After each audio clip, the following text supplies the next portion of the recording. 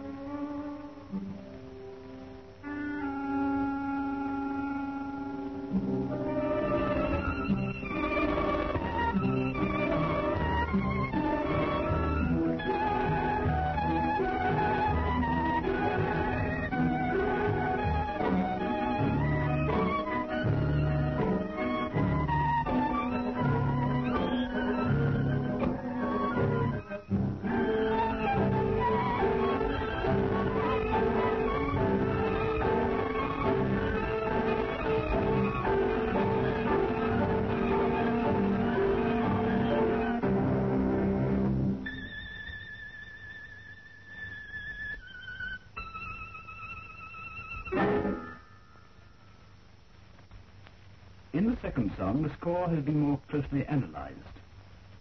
Each group of instruments is represented by a different image. The simultaneous representation of several images illustrates the volume of sound produced by the orchestra.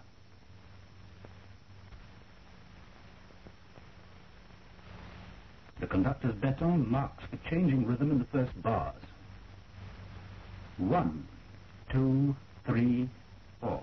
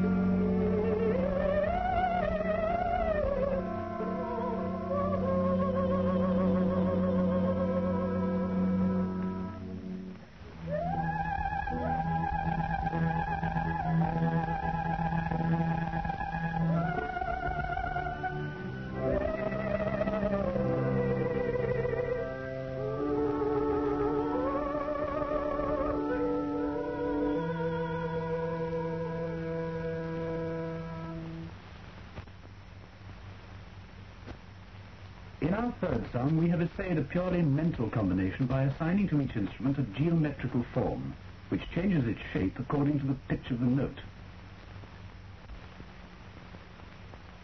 For instance, each note of the violin is marked by the varying height of its corresponding symbol, a triangle. And here is the flute. This is the cello. Here are all three together. Here is the vocal part. To simplify the problem of coordinating the optical and aural sensations in time, we have deliberately sacrificed the artistic qualities of visual form in space by adopting only the simplest geometrical shapes.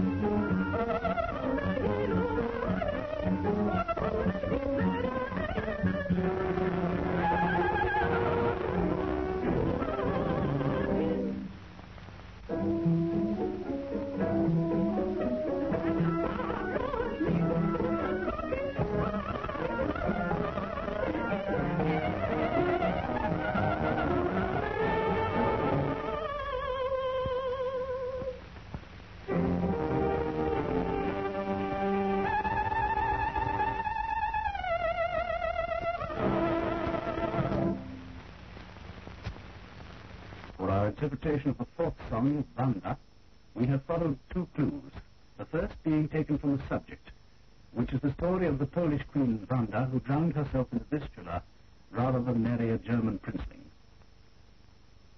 This suggests sad, restful water as an artistic medium of expression. The second clue is the rhythm of the music, which suggests the monotonous movement.